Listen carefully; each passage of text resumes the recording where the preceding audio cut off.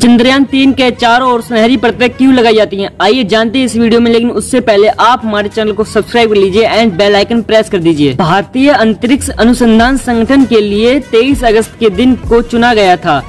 इस दिन चंद्रयान तीन की सेफ़ लैंडिंग होने से इस दिन को एक ऐतिहासिक दिन घोषित कर दिया गया।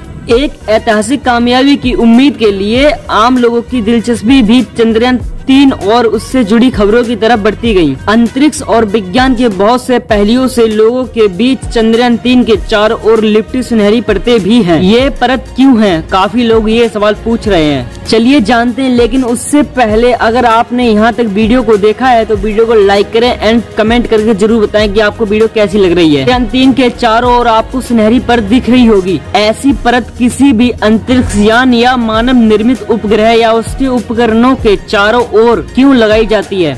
इस सवाल का जवाब मुंबई में रहने वाले नेहरू तारा मंडल के निर्देश अरविंद प्रांजपे ने दिया है। प्रांजपे कहते हैं, यान के चारों ओर दिखाई देने वाला गोल्डन फॉइल पेपर जैसा आवरण ना तो सोना है और ना ही कागज़ का बना है। इसे मल्टीमेयर एल्यूजन या एमएलआई कहा जाता है। दरअसल बहुत ही हल्के वज़न की फ़िल्म की कई परतें एक के ऊपर एक लगाई जाती है। प्रांजपे के मुताबिक इसे बाहर की तरफ़ सुनहरी और अंदर की तरफ़ सफ़ेद या सिल्वर रंग की फ़िल्म है। वे पॉलिएस्टर से बनी फ़िल्में इन फ़िल्मों पर एल्यूमिनियम की बहुत पतली परत भी लगाई जाती है। पॉलिएस्टर की एक फ़िल्म और उस पर एल्यूमिनियम की एक परत से एक सीट बंद इसके अलावा ये परत चंद्रयान तीन की सुंदरता को भी बढ़ा देती है।